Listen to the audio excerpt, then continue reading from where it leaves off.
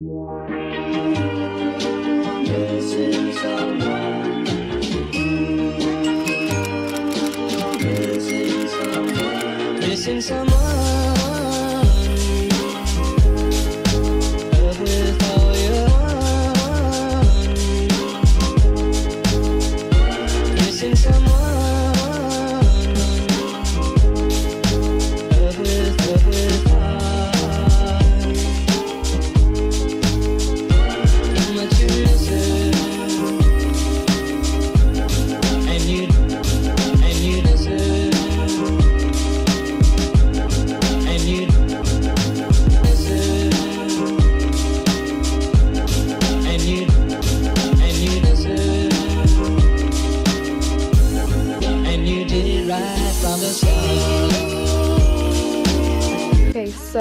Trying to decorate my Kindle and I literally love all of the stickers that I've bought, but they're way too big. Like I got the smallest available stickers, but like that takes up like the whole thing. Like strawberry shortcake, she was supposed to be here. But anyways, we're gonna make it work.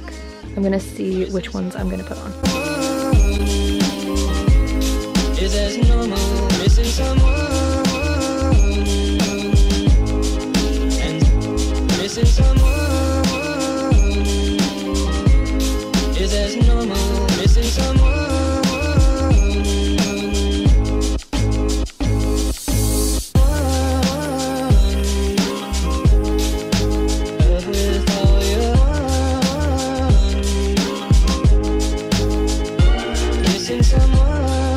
Guys, my name is Em and welcome back to the start of a brand new 24 hour readathon vlog. It has been so long since I've done a 24 hour thon and I am so so excited. Me and my friends Sarah, Lucy, Bisma and Soph just randomly decided that we were going to do a 24 hour readathon this weekend. So that's exactly what we're doing. I'll tag them all down in the description box but basically yeah we just decided that we wanted to read for 24 hours this weekend because it is so hot, it is so sunny and we are all in our kind of like summer reading era. So yeah I'm very excited to be doing this 24 hour readathon. I think I already showed you my stack of potential books that I want to read during this readathon but the first book that I'm going to be reading I'm actually reading on my Kindle and also I just decorated my Kindle which you may have already seen before this clip or else it will be after this clip. But I'm reading a book on my Kindle and I am reading The Naturals by Jennifer Lynn Barnes. And let me tell you guys I am obsessed like I am so so hooked already and I'm only like six chapters in or something. Basically I heard about this series from Larry Reeds who first of all I would trust with my entire life to recommend me books but I heard her talking about this series and I was like that sounds like something that I'm going to absolutely love. This series is like a YA mystery crime series. We have this group of like teenagers who have like these natural abilities. It's not like magic or anything but they're just like very very good at what they do. Like our main character who I'm blanking on her name right now but she is like a profiler. Like she can read people so well. There's another one who like can detect emotions. There's another one who's like a human lie detector. Like these are just like really really really good at what they do. And basically they get like recruited by the FBI to help the FBI solve all of these like unsolved cold cases. And it is so good. It is so addictive. I'm only like six chapters into the first book. There are four books in this series. Honestly I could see myself reading all four of these very very soon but we shall see. And also Jennifer Lynn Barnes who wrote this series also wrote the Inheritance Games trilogy. So it's really interesting to kind of like see the contrast between those series. And I do love a good YA mystery if it's done well. So yeah that's the book that I'm going to be reading first. I think honestly I might just try and read that until I finish it because it is a very easy to read book. Right now I'm making lunch so I'll probably read while I'm having lunch and then study for a while and then read again later because technically the readathon doesn't start until like this evening but like there's kind of no set time on it so it is what it is. But yeah that is it for this intro. I will come back to you later when I have more reading updates and yeah I hope you enjoy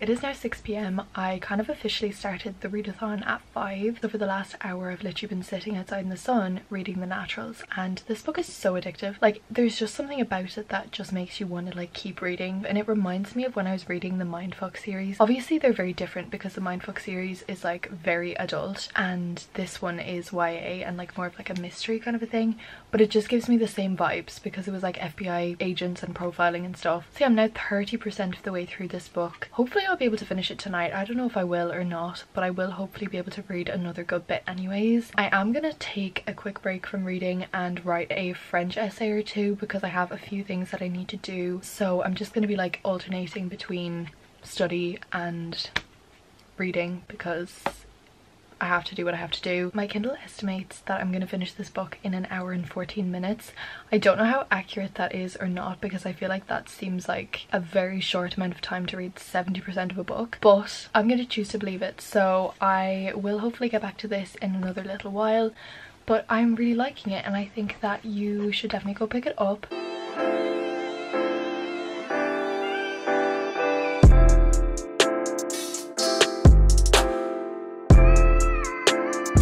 Hi besties. Okay, it has been a couple of days since I have last updated this vlog or like even opened this vlog because I don't think I gave you one single update after the intro. And I think it's fair to say that I don't think this is a 24 hour readathon anymore. I won't be able to do a readathon until after my exams. I don't know why I thought that I would be able to, but I am going to continue this vlog because I started it. I might as well continue it. So I'm like thinking of just making this like a weekly vlog, like continuing it into my exams and then like showing bits and pieces of my exams and stuff because I was going to do like a specific specific vlog for my exams and I was like you know what no I don't have the energy and time to do that because I'm gonna be so tired but I think I might just like continue this vlog into the exams so that you see like a bit of it. If none of you care, I don't know, but it'll be nice for me to look back on as well to see my leaving cert experience, but it will still be a reading vlog. So update on the naturals. I am still currently reading it. I'm 58 percent of the way through this book now. I don't know how i'm feeling about it. Like it is really good. I am really liking it. It's very addictive. It's very like easy to read. It reads like a tv show i think which is really really good. And i know that like if i sat down i'd probably be able to finish this book in like an hour or two at most. But do i want to do that? I'm not really sure. I did have like a couple of nightmares about like certain things that happen in this book. And like it's really not even that scary. Like I've read scarier things than that. I've watched scarier things than that. I don't know why like this book is like getting into my dreams but it kind of is. And because kind of now the only time I have to read is right before bed I don't think it's a good idea to be reading this book right before bed. I am still reading it, I'm not DNFing it, I will finish it and I probably will continue with the rest of the series honestly. There were a few things in it that I kind of wanted to talk about because basically there's a love triangle in this book but like why? Like Cassie, our main character, she's just gotten to like this place. I don't even know what it is, like this home that they're all living in, this house. And there's already like the two guys fighting over her. And like she doesn't find that strange. She doesn't find that weird at all. They've never really spoken to her. Like this is kind of like the first time they're meeting. And like they're both seemingly like in love with her. And there's like this unspoken agreement between the whole three of them that they're in this love triangle. But like when did this begin? When did this begin? Because it's so strange. Like she just arrived there and then they were like fighting over her. But like they didn't even really know her. I don't even think i'm explaining it right but basically like it seems like they just went into a love triangle when there was no like they hadn't even really met each other. Okay i got interrupted by the post. I can't even remember fully what I was saying but I was saying like there's this sudden love triangle with absolutely no setup. There was no moment where she realized that she may potentially like either of these people or both of these people. She just came into this place this program and now she's in a love triangle with them. But like there's also like other people in the love triangle because one of the other girls that live there is in love with one of them. I don't know, it's such a peculiar one, but like I'm not taking it too too seriously because already like this book and this series is kind of more of a, you know, you just read it for the vibes type of a book. Not saying that it's not good, but like you know what I mean. But yeah, that is all I have to say about the naturals. I'm like 58% of the way through. I would like to finish it very soon, but I kind of want to pick up a physical book and I didn't really know what book I wanted to pick up because we're currently in the middle of a heat wave right now. So naturally that makes you want to pick up like a summery beach house romance book but because I only have like a couple of those on my TBR I wanted to save those for like when I don't have exams coming up and like I can actually enjoy them and like sit outside and not kind of be reading but like know that you have to do other things. Like I wanted to savor those but I couldn't think of any other book that I wanted to pick up. So this morning I was just looking through my shelves. I was like you know what? I need to find a book that I want to read. There has to be a book that I want to read here. And I have decided on Good Girl Complex by Elle Kennedy. This book is set at a beach town. I didn't know that, but it is set at a beach town. I've heard mixed things about it. I've not heard amazing things about it. I liked the off-campus series. Like I'm, I'm gonna give it a shot. So yeah, I decided to pick this book up because it is set at a beach town. So it does have those summer vibes, but it's not one that I have like such high expectations for and like I want to save for like when I'm on the beach or something. I'm gonna start this one today. I don't know how long it's gonna take me to finish this book. I don't know if I'm even gonna like it or if I'm gonna stick with it. We'll see. But since I finished Happy Place last week, like no book is hitting because I just loved Happy Place so much and I think I'm in like a bit of a book hangover from it. That is my update for right now. Good Girl Complex by Elle Kennedy. Hopefully it's good. Hopefully it's fun. It's like about this girl who transfers to this beach town to get her college degree. Then we have like this grumpy local who works there who doesn't like these college people coming in because they're like really rich and privileged and stuff. That could be so wrong, but I read the synopsis once and that's what I got from it. Right now I'm going to go make myself a coffee, probably start this while I have my coffee. Then I'm going to get straight into studying. So today's study agenda is to study for English paper one, which is my first exam next Wednesday, and then also study for home ec because that is such a big course and such a big book that like I I need to do that and that's also on Wednesday next week as well actually. I will come back to you when I have more reading updates in either of the books that I'm currently reading and yeah I'll talk to you later. I want to show you this bookmark that my mom got me for graduation. So it says take pride in how far you've come, have faith in how far you can go but don't forget to enjoy the journey which is so cute and then it has like a little like graduation cap and it says 2023 on it and I think it's so cute. So that's the bookmark that I'm going to use for this book. Okay, I know I literally just stopped talking like a few minutes ago and I was like, I'm going to go, I'm going to do all these things. But I never told you about graduation and I kind of wanted to put it into a vlog so that again, I can look back on it. But basically last Tuesday, I graduated secondary school. The fact that like I'm at the age to be graduated from secondary school is kind of crazy to me, but here we are. I've now made my coffee to accompany this story. But yeah, basically last Tuesday I graduated. It was very emotional. It was very emotional and it was honestly more emotional because my mom couldn't go. She had COVID so she couldn't go. That was that was sad. Like that was the hardest part for me I think because I've not had an easy experience in secondary school. I've not liked it. I've not enjoyed my time and I'm saying this because I know there's this kind of like idea that it's just the best time and that everyone enjoys it but it's not true. I know that somebody watching this is going to be like yeah actually i don't like it either and like that's totally okay. So yeah i didn't enjoy my time at school. It was not easy for me and the person that was there for me every single day was my mom. And the fact that then she had to miss my graduation was really really upsetting for me. But regardless of that like I still had the best day ever. Like it was such a good day. So it started out like we had our last day of school on Tuesday as well. We started off with a breakfast with our entire year and our year head. Then we watched our year and our teachers play in a game of rounders a very competitive game to which I think we lost. Then we came back we had a pizza we just like you know reminisced. Our year head gave us a speech and we were all sobbing crying. She made like a 16 minute video of all of our memories from the past six years and it was very emotional like it was very very emotional to see how far we've all come together. We finished at 2 p.m and the principal rang the bell at 2 p.m for us to like all walk out together. So we all walked out together at 2 and like most of the school came out and like clapped and cheered and stuff for us walking out the doors and everyone was sobbing. Everyone was sobbing. Like it was a sobbing mess. I didn't think i would be emotional but it was so emotional. Like it was so so so emotional. And yeah just to know that like you're never going to be in a classroom with your best friends again. You're never going to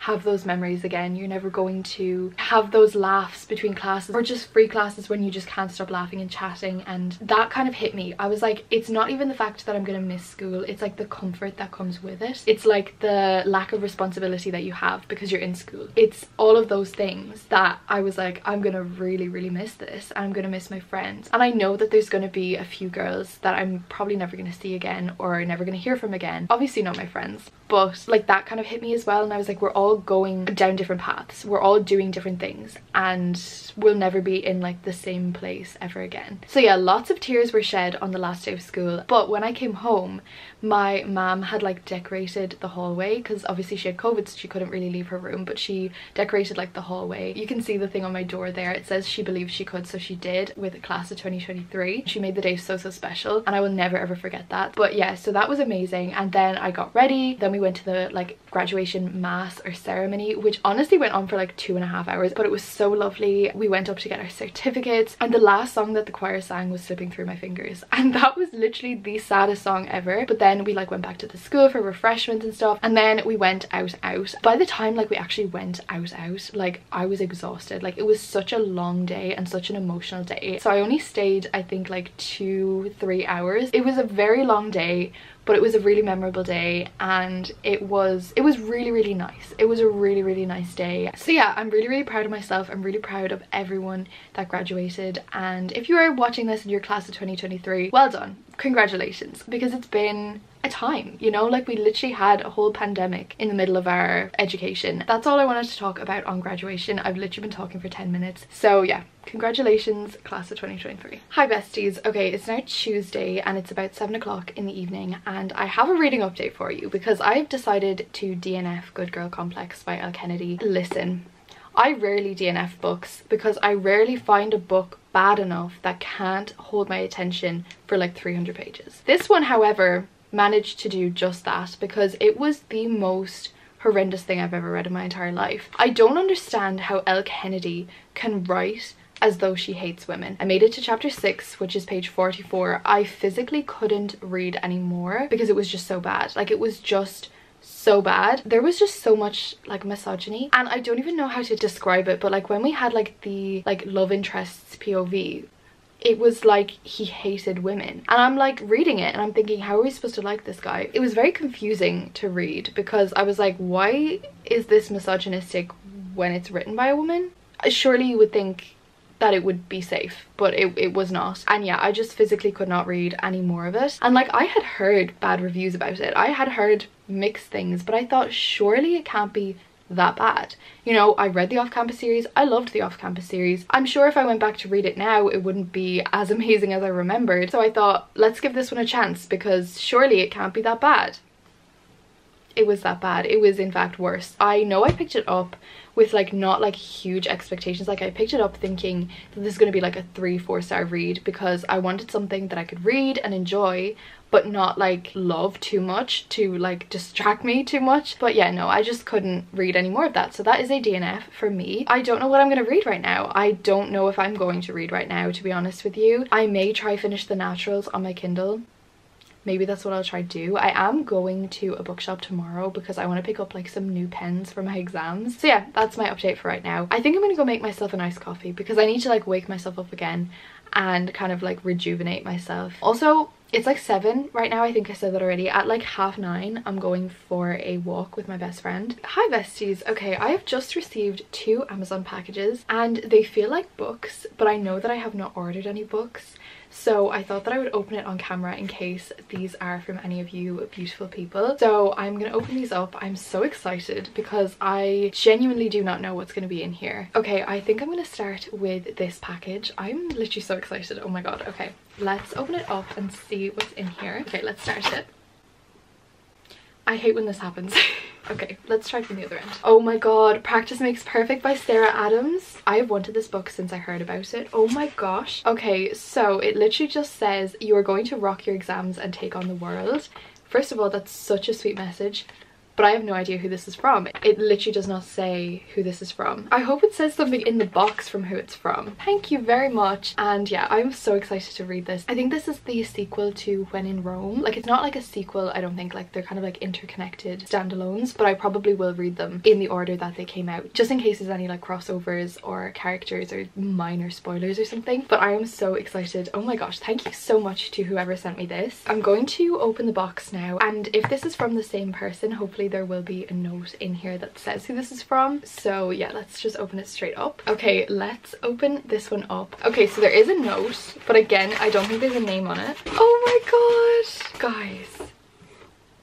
Redeeming Six by Chloe Walsh. Oh my gosh, I love these covers. Okay, so basically the story with this book is that I had the first three in like the original covers and then they took them all out of print. They took those covers out of print and I hadn't bought this book, Redeeming Six, so I only had the first three. This one that was now out of print basically is being like re-released in October so I would have to wait until October to like see what happens next. So thank you so so much for getting this for me. Oh my god now I can finally see how the series ends because I was putting off finishing book number three because I didn't have book number four. That is so kind of you. Thank you so much. I wish I knew who sent it to me. Because this one just says congratulations on your graduation. I'm gonna go put this on instagram to see who sent it to me. But if you're watching this and you were the one who sent this to me thank you so so much from the bottom of my heart. Like this is the kindest thing ever. But i am so appreciative and i'm so so lucky to have amazing besties like you. Thank you so so much to whoever sent me this. I'm gonna go try find out who it was. That was literally the biggest surprise ever but thank you so so much